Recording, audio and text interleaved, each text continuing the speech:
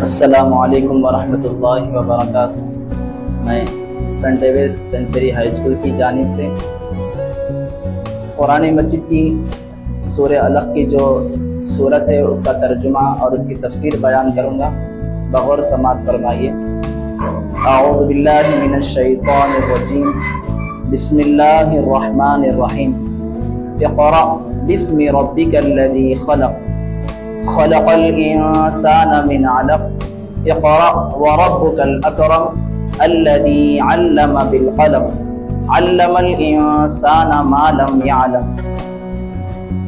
یہ پانچ آیتیں سورہ الگ کی ہے جس میں رب کریم، رب تعالی، اللہ تعالیٰ نے ابی کریم صلی اللہ علیہ وسلم کو اپنے رب کے نام سے آغاز کرتے ہوئے پڑھنے، جس نے ہر چیز کو پیدا فرمایا ہے۔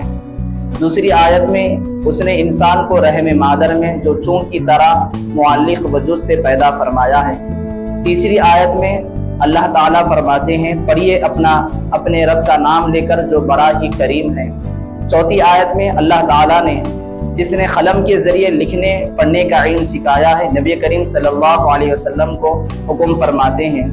پانچویں آیت میں جس نے انسان کو اس کے علاوہ بھی وہ کچھ سکھایا ہے جو وہ نہیں جانتے تھے یہ اللہ تبارک و تعالیٰ نے اپنے حبیب کریم صلی اللہ علیہ وسلم کو قرآن کے ذریعے سے تعلیم دے رہا ہے۔ ہم سب سو ہم سب کو بھی چاہیے کہ ہم بھی اسی طریقے سے قرآن مجید کی تعلیم حاصل کرتے ہوئے دین اسلام میں آگے بڑھنے کی کوشش کریں۔